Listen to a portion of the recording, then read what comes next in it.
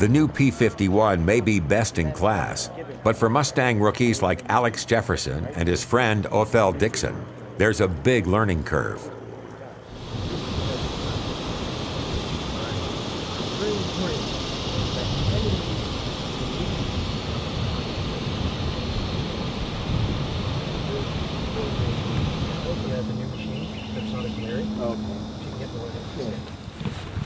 It will go, uh, So where is... get the Mustang in the background.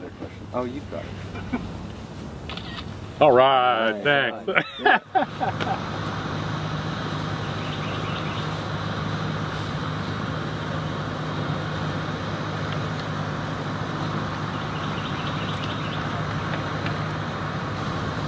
Cutting. All the guys hanging quick. Everybody picture, but all yours are passing. Yeah, I mean, I can just. I'm just trying to Maybe think. pull it into the inside. Possible. Yeah, it doesn't, uh, right here, here's fantasy flight, here's this hangar. I'm saying we go down south of the trees down there.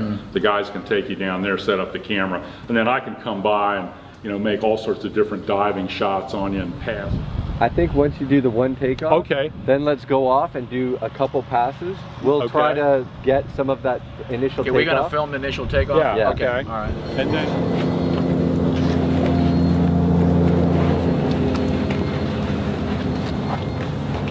uh, without seeing the helmet.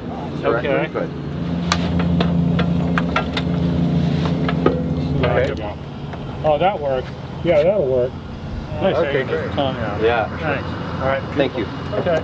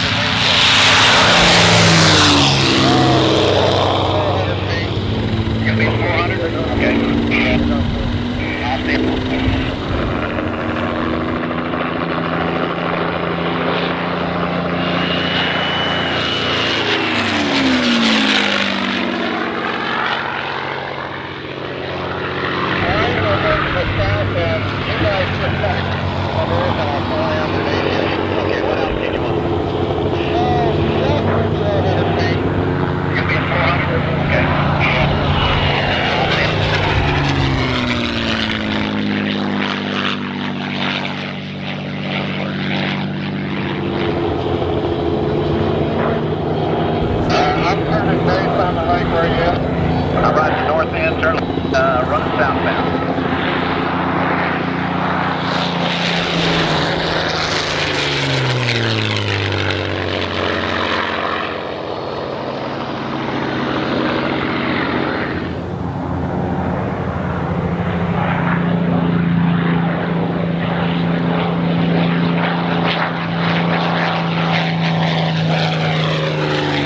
Uh, I'm turning base on the lake where I'm right to north end, turn, uh,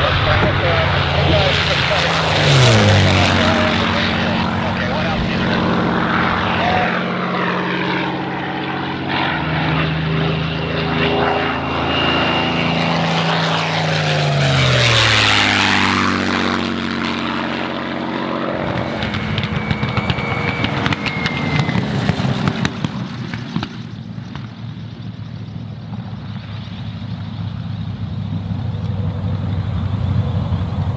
And that that is the worst P-51 flight I ever made in my life. It, I don't know what temperature. It's got to be 90 something today. I got all these clothing on, a Mae West, a jacket. So I was already hot before I got out there. And then uh, then we started pulling G's and flipping around. And I've got a they got me wearing an oxygen mask, so I look black.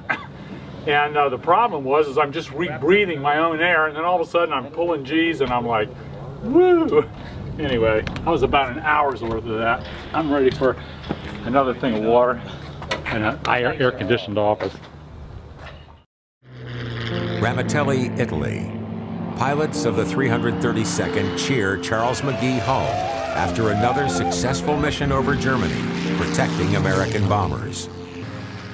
Most in the military high command doubt a man like McGee can fly a plane, let alone go into combat against the highly trained Luftwaffe.